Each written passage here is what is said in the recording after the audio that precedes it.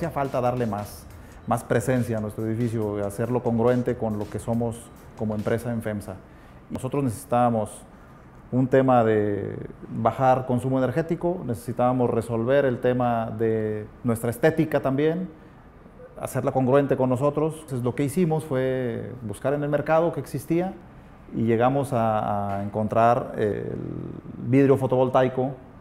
Después de una búsqueda tremenda, coincidimos y caemos con, con Solar y al final eh, concluimos que era quien nos daba la solución completa.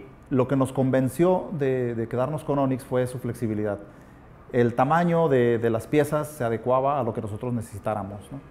Entonces se generó la solución estructural de manera que nosotros pudiéramos seguir teniendo la transparencia con el exterior y que del exterior al interior sí se notaba una estética diferente. Y Onyx fue la que nos ofreció esto.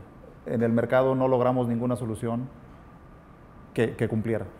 Onyx nos ofreció la solución customizada en cuanto a tamaños, espesores y, dimensiones generales de, todos los vidrios fotovoltaicos. Vamos a pensar que sería más costoso de lo que fue.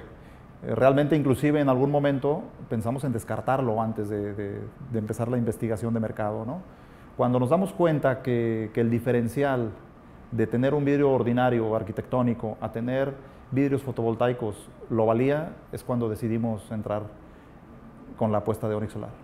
Y, la verdad es que muy contentos. Los vidrios fotovoltaicos tienen una gran ventaja respecto a otros materiales constructivos de, fachadas fotovoltaicas y, flotadas, ¿no? hay, laminados que son cerrados que no permiten la transparencia al interior, cosa que el, vidrio fotovoltaico sí lo permite.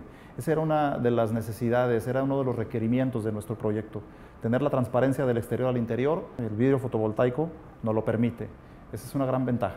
En las revisiones periódicas de nuestro consumo energético, la partida de aire acondicionado era, era tan grande que estábamos obligados a hacer algo. Después de hacer esta fachada eh, fotovoltaica, estamos consumiendo alrededor de 35% menos energía eléctrica. Es decir, que en estos cinco años que llevamos con la fachada no hemos tenido fallas.